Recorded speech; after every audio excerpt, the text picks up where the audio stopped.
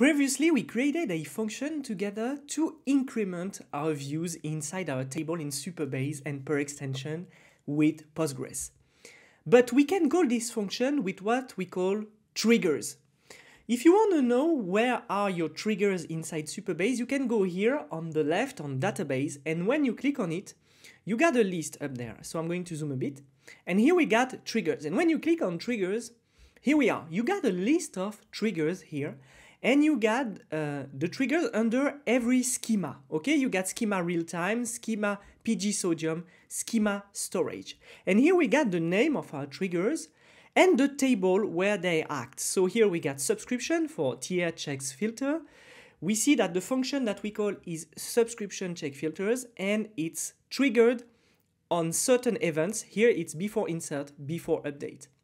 So we understand that triggers are calling function at a certain time when there is a special event. And here we see that we got these events before insert, before update. For those who don't know Postgres, let's look at the definition of triggers. PostgreSQL triggers are database callback functions which are automatically performed, invoked, when a specified database event occurs. So we can uh, see here that our function, our triggers, are um, actually linked to a specific database. A trigger that is marked for each row is called once for every row that the operation modify. So when we get back here, we see that we've got a function tier check filters on the table subscription. The function that is called is subscription check filters. And here we got the events before insert, before update. Okay, at first, what we can do is to click up here to create a new trigger. And we can see here we got the name of a new trigger. Okay, so here please use snake case by default. And here you can check the table if you want to check a specific table. So here we've got session auth, we got user auth, and we've got up here orders, the table that we created before in this course. Here are the list of the events, okay? We've got insert, update, delete. Okay, these are the events you want to trigger uh, your trigger and the function. And here you got the uh, trigger type. So when you click on it, it's before or after, as you see here, okay? Before the event or after the event. For the orientation of the statement, we can say that it fire once for each processed row. Most of the time you will select that. And down here, you're going to choose the function to trigger. So this is the first way to add a new trigger. If you don't want to use the SQL editor, you can go here and click to add a new trigger. And down here, you would select the function that you would have created uh, previously. If you want to know how to create a function, please refer to the lesson on functions. Okay, I'm going to write a SQL query to create a table, to create a function to add every time somebody is going to authentify to my Supabase instance a row in this table users, be safe, it's not going to be about the auth.users table, it's going to be about the users table, and then I'm going to create the trigger immediately. So I'm going to click here on new query, and what I'm going to do, I'm going to type create table users. Okay, right now I don't got any table, so here it's going to be good. It's going to be with an ID, with UUID, references here uh, auth.users, okay, not null, and it's going to be primary key. Here we are. So I'm going to zoom a little bit for you. Here we are. Then it's going to have an email and I'm going to store the email text here. Okay. So I'm going to go down here and what I'm going to do, I'm going to create also a function. So I'm going to type create or replace because maybe we're going to run the query uh, several times if we make mistakes. Okay, function. And here is going to be public dot um, handle new user. Here we are. There we go.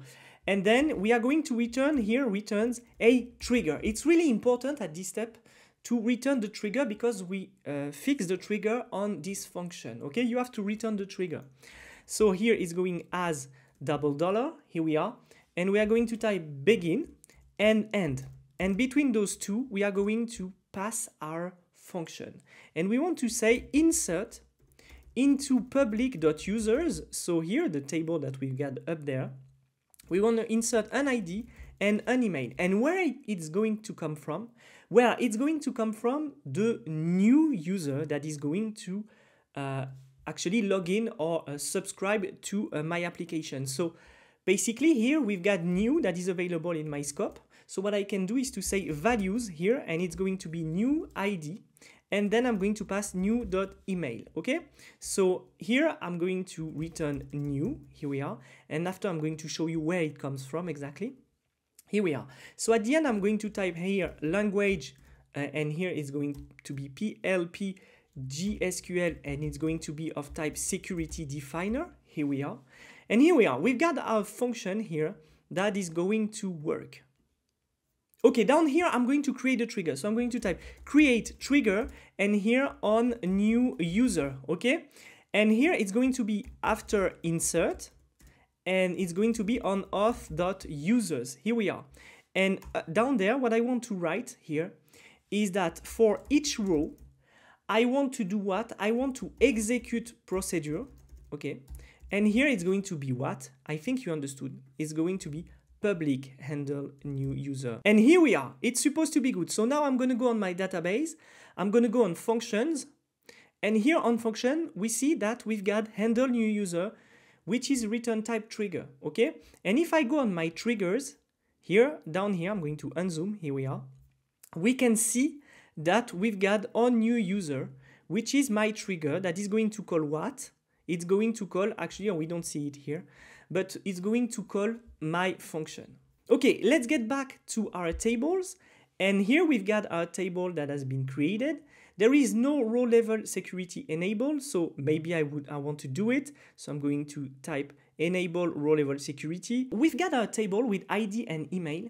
And what we're going to do, we are going to go to authentication, add a new user, and see if our trigger is going to be actually calling the function and add the new user. So I'm going to click here on authentication. Here we are. So I'm going to take this uh, fake user. It's going to be this one and I'm going to put a new number. Click on invite user. Okay, the invite has been sent. And now if I go to my table users, here we are. We see that we've got our function that has been triggered. All right, so what we did here, we created in our script a table users.